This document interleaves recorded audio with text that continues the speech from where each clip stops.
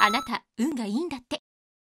企業が、えー、社員の採用試験提出を求めエントリーシート、えー、東京会場、えー、日動火災保険は9月下旬の秋採用で名前は、えー、名字だけですね記入、えー、性別や顔写真の添付も不要に。その人の考え方だけで選びたい、えー、性別や顔写真などが選考に影響しないよう余計な情報を削除した世の中の流れ変わりましたね。っていうことですね。はいありがとう。あそうなんですね、えー、僕このニュース一切知らないんですけどもえー、まあなんていうんですかね。こういう新しい試みはですね、すごいというか、このガッツは認めますけども、あこれ100%ミスりますね。これは100%、えー、失敗すると思います。はい。え別にこの、なんていうかな、性別のね、うん、その男女差別とかなくしてるのはいいかもしれませんけども、えー、まずですね、その、いろいろ調べないとですね、エントリーシート、こ要するにこの、その人の考え方だけ選びたいってことは、まあ何か文章とか、えー、そういうので選ぶってことですね。えー、そういうことをするとですね、え、僕、エントリーシートとかですね、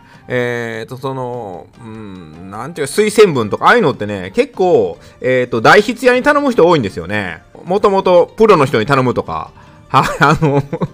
えー、こうこうこういう考え方なんで、こうこうこういうことをしたいとか、もし面接で喋ってもらうにしても、えー、その喋ることをですね、そのプロの方に考えてもらう。で、それをですね、まあ、面接で、えー、一字一句ちゃんと覚えてですね、喋、えー、る。えー、そしたらですね、ああ、この、この青年考え方素晴らしいなとですね、えー、面接官が思ってですね、思って、えー、入社させてもですね、あれと、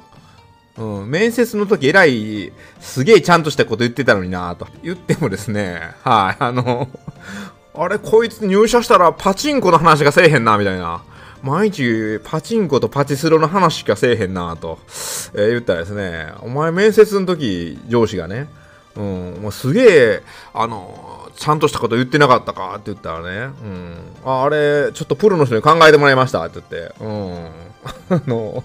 全然僕もあの、一、一語一句、あの、違わず覚えただけで意味全く分かってないんですよ、みたいな。うん。っていう感じになりますよ、これ。はい、いや、こんなもん全然、こんなもんある話なんでね。うん。まあ、別にその、やらせというか、例えば、エントリーシート、そこまでひど僕が言った今ひどいことしなくても、家でエントリーシート書いてて、例えばお父さんとかお母さんに、ここどう書いたらいいとか、例えば学校の先生とかですよね、大学の教授とかに、ここどういう風に、あの、書いた方がいいですかねとか、うん、これど、やっぱその、企業にね、受けるように、企業に受かるのが大事ですから、企業に受かるように、どういう風に書いたらいいですかねと。うん。えー、聞いたらですね、まあ大学の教授とか、えー、学校の先生も教えてくれますよね。うん、これやっぱ、こうこういう風に書いた方が、うその企業に響くんじゃないかという風に、えー、書き方教えてくれますから、はい、もうそこら辺の考え方のみでみたいな記事があったらですね、これは大きくミスりますね。これ大きく。まあそうですね、小学校のね、夏休みの宿題もね、えー、まあ僕一回言いましたよね、昔。えー、っと、小学校の時の、えー、冬休みの宿題で、え、っと書、書道があったんですよね。あの、習字。あれ、おとんに書いてもらったんですよ。で、えー、僕のおとん、あの、死ぬほど字うまくてですね、それでも下手に書いたみたいなんですけども、あの、2秒でバレてましたね。はい。うん。うちのおとん側の、えー、お母さん、要するに僕のおばあちゃんですね。僕のおばあちゃんだってあの、書道の、えー、本書いてた人なんで、あの、書道の教科書の見本書いてた人なんで、うん。あの、僕が提出した、えー、その、修理がですね、学校の先生よりはるかにうまいというですね、はい、あの そういう、えー、ことがありましたから、小学校4年生か5年生ぐらいですかね、うん、あの、はるかに、うん、学校の先生の見本を、えー、上回るクオリティというですね、えー、状態になりましたから、うん、はい、一瞬でバレてました。うん僕は全然、今はまあまあ普通の字ね、うん、書きますけど、でも書道とかはやったことがないんで、筆で書いたら全然今でも書けないですね。なんで、あの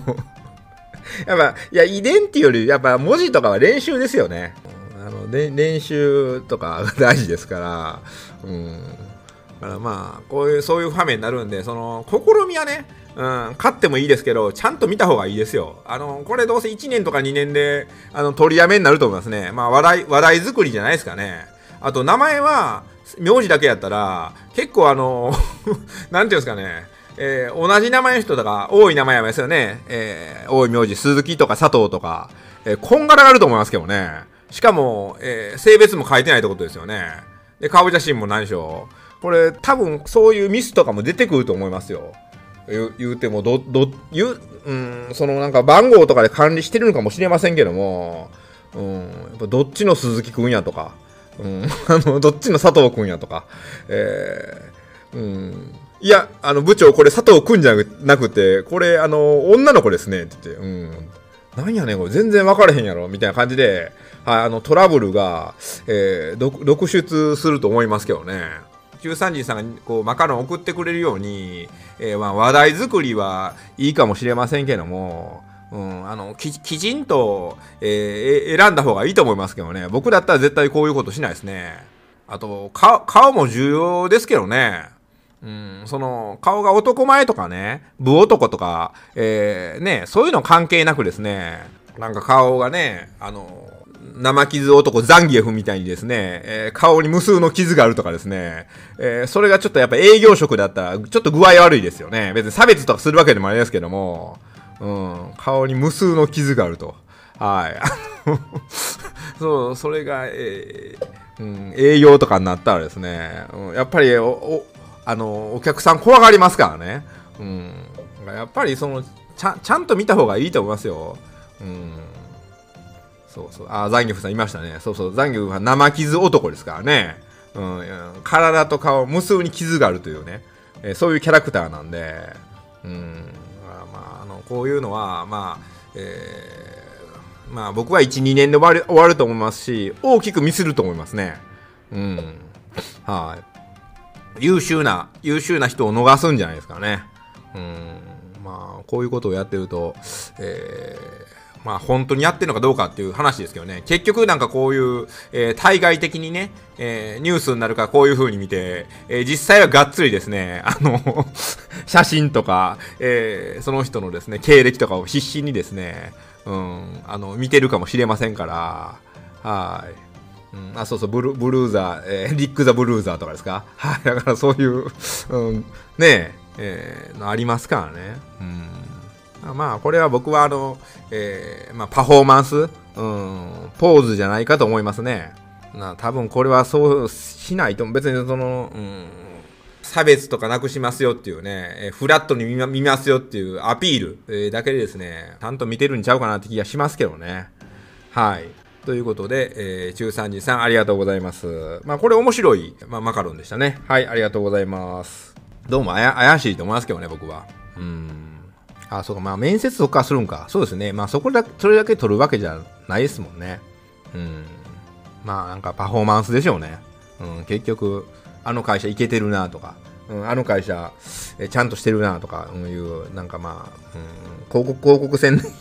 うん、稼ぎですかね。動画が面白いと思ってくれた方は、高評価、チャンネル登録お願いします。パワーストーンはただの石、質問いつでもお待ちしております。